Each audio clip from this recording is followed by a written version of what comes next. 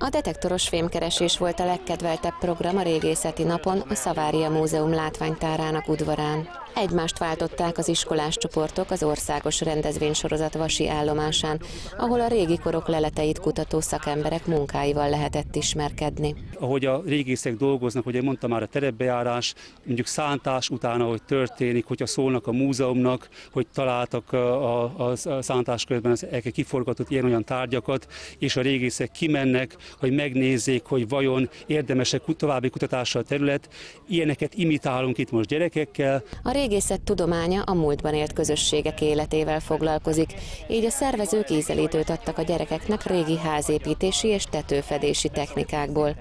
Őröltek és szitáltak még kenyérsütéshez szükséges magukat, de volt gyöngy és tésztafűzés is, ahol az ékszerkészítés ősi módszereit próbálhatták ki. Én szeretem ezt a múzeumot, mert sok érdekességet tanulhatunk, és sok dolgot megnézhetünk, meg láthatunk. Voltak ilyen régi tárgyak, és akkor csoportosítani kellett őket, ilyen Róma, őskor, középkor. Ez a feladat a nagyobbaknak is tetszett, mert nem csak szórakoztató, hanem hasznos is volt.